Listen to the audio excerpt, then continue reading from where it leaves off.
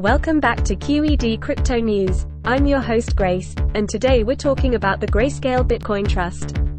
According to a recent analysis by Arkham, the Grayscale Trust holds over $16 billion worth of Bitcoin on chain. This makes it an incredibly popular option for institutional investors seeking exposure to the cryptocurrency market. In addition to this staggering figure, Arkham has also confirmed that the Grayscale Ethereum Trust is the second largest Ethereum holding entity in the world, with a whopping $5 billion worth of ETH in its holdings. This isn't just impressive, it's a clear indicator of Grayscale's impact and reach in the cryptocurrency market. But despite these impressive figures, it's important to note that there are some downsides to investing with Grayscale.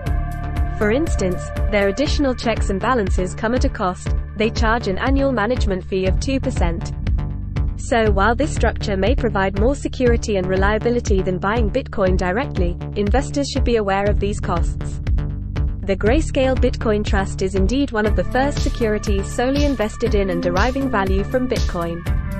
Their passive investment strategy allows investors to gain exposure to Bitcoin in the form of a security while avoiding all those pesky challenges like buying, storing, and safekeeping Bitcoins directly.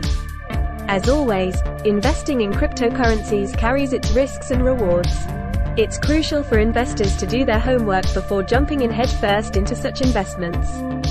That wraps up our discussion on the Grayscale Bitcoin Trust today. Stay tuned with QED Crypto News for all your latest crypto news updates. Until next time, remember, stay informed, invest wisely.